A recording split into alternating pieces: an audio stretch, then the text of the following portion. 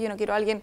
que llegue a las 9 de la mañana, se vaya a las 6 de la tarde y haga su trabajo, yo quiero a alguien que sienta como suyo lo que hace y que se equivoque y que aprenda del error.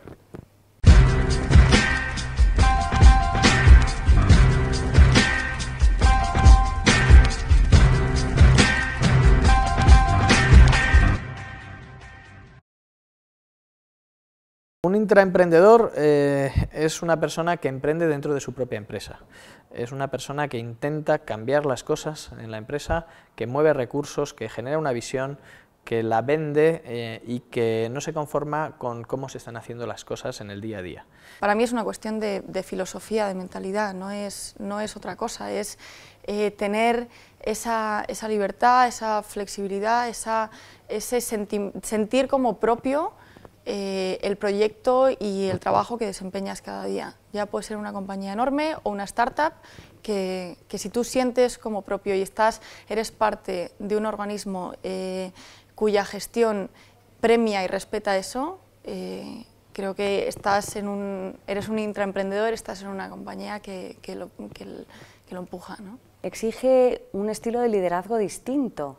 y para tener un estilo de liderazgo distinto, tú también tienes que encontrarte enfrente con personas que están dispuestas a asumir ese estilo de liderazgo distinto, que son justamente personas que no se sientan a esperar órdenes, sino que son personas que son capaces de generar ellos su propio trabajo, de generar ellos eh, su día a día y saber qué es lo que tienen que hacer de una manera mm, microresponsable y autorresponsable. ¿no? Es muy importante que en las empresas favorezcamos que esto ocurra demos espacio, demos hueco para que la gente de alguna manera nos pueda presentar eh, todas sus propuestas de cambio, de mejora, todas las alternativas para hacer las cosas distintas. Mi obsesión es eh, que todo el mundo en mi equipo entienda eh, que es mejor hacer algo y equivocarse que no hacerlo. La parálisis por análisis es, es, un cáncer en, en, una compañía. Google es una empresa que anima a pensar de manera diferente y pensar de manera diferente a veces es emprender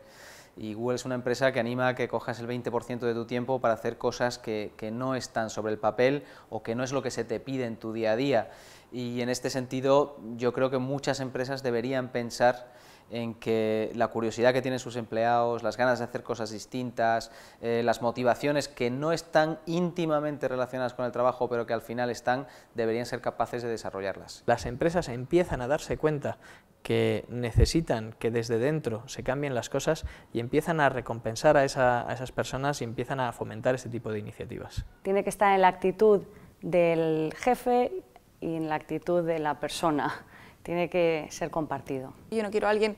que llegue a las 9 de la mañana, se vaya a las 6 de la tarde y haga su trabajo, yo quiero a alguien que sienta como suyo lo que hace y que se equivoque y que aprenda del error. En la cultura está muchas veces eh, instaurado el hecho de que es mejor no fallar,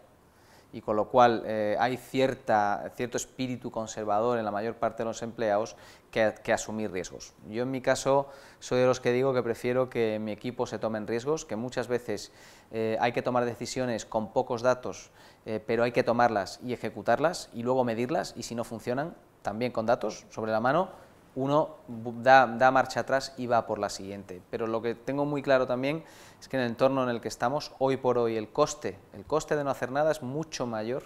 mucho mayor que el de hacerlo.